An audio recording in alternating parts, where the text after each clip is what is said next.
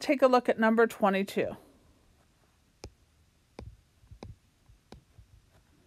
We have P plus Q equals 4.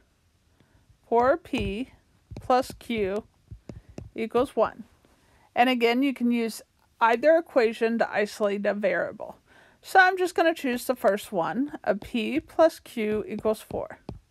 And it doesn't matter if I isolate the P or the Q, but looking at this second equation here, I see the Q's by itself, and it's probably going to be easier to plug something in there and substitute for that Q. So I'm going to come down here, and I'm going to isolate the Q.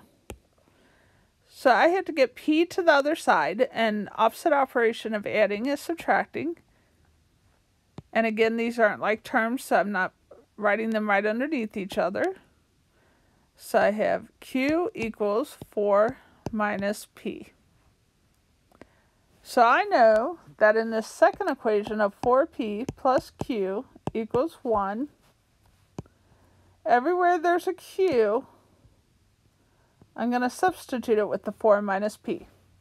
So I'm going to have, bring down my 4P, then instead of plus Q, I'm going to have plus 4 minus P equals 1. Then I'm going to combine like terms, 4p minus 1p, because that's the same as saying 1p, is 3p. Bring down my plus 4 equals 1. Then to get 3p by itself, I have to subtract 4 from each side, and I get 3p equals negative 3. The opposite operation of multiplying is dividing, and I get p equals negative 3 divided by 3 is negative 1. So now I'm going to come up here